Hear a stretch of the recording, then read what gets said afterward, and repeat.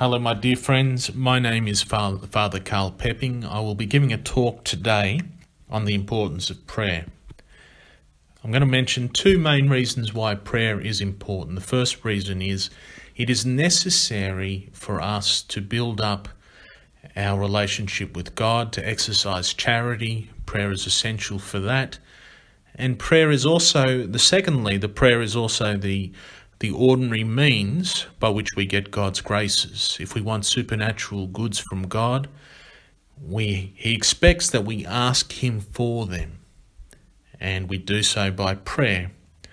So let's have a look then at this question of the importance of prayer. So I'm going to start off with the first reason, which is it's necessary for us to build our relationship up with God. With any friendship, there needs to be communication, there needs to be interaction. And we do that by talking with each other. If we were to claim that we had a relationship with someone, but we never spoke to them, we never interacted with them, we could not, in all honesty, say that we have a relationship with that person. Imagine a husband and wife who claim to be in love with each other but they never, ever communicate with each other. You cannot say, in all honesty, that they have a relationship. And that is true with us and God. We cannot claim to really love God, have charity for Him, if we're not willing to communicate with Him. So it's important that we seek God out to spend time with Him. Very often in our days, we get caught up with the ordinary things we have to do. We get up in the morning, we may get the children ready for school, get in the car, get the children in the car, drive them to school. Dad gets in his car or gets on the public transport and goes to his work and he does his work for the day. And we can easily get absorbed in these daily activities. And we can't say for many, many a time during the day, we can't say that we've been seeking God. But in prayer, we seek God out. Whether it is to ask Him for something, whether it's to say thank you to God for all the graces He's given us, whether it's to do reparation for our sins, to really show God that we're sorry for our sins, or if it's simply just to adore Him, to honour Him, to acknowledge His infinite perfections and His greatness, in every case, we're seeking God. And we're raising our heart and mind to God, which is the basic definition of prayer. Prayer is the raising of the heart and mind to God.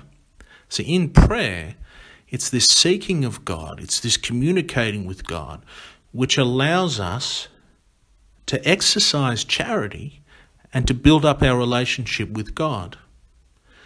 So that is the first reason why prayer is so important, because no one can really say in truth that they have a relationship with God if they don't pray. The second reason why prayer is important is, and I'll read, I'll read uh, from the Gospel of the fifth Sunday after Easter, and in that Gospel we read. If you ask the Father anything in my name, he will give it you. Hitherto you have not asked anything in my name. Ask, and you shall receive, that your joy may be full. Here we have our Lord clearly telling the apostles, and through the apostles telling us, that we need to ask for graces through prayer. We need to direct our prayers to God, ask Him for the graces we need. So prayer is the ordinary means by which God gives us his graces, and he will not give us many graces unless we pray for it. I'll say that another way. We're only going to get particular graces on the condition that we turn to God and we explicitly pray for that grace.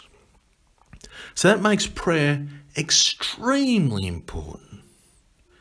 And when we go to Mass, when we say the rosary, these things are so powerful precisely because they obtain graces which are so necessary for our own salvation, but to also help others that are dear to us, to give them supernatural goods. We can also, of course, pray for material things, but most importantly, it's the spiritual goods, and they very much depend on our prayer. So, my dear friends, without a life of prayer, we have very little well, we could almost say none. If we don't pray at all, we have no connection with God, who is the source of grace, the source of the supernatural life. He is our last end. Charity means that we love God above all things.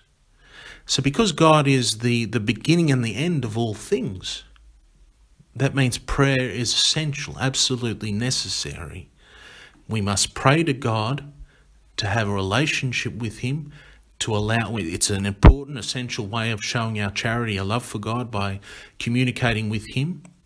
And secondly, it's important because it's the ordinary means by which we receive many, many graces that we need for ourselves and for others to save their souls. May God bless you. Keep praying for the priests of the Society of St. Pius X.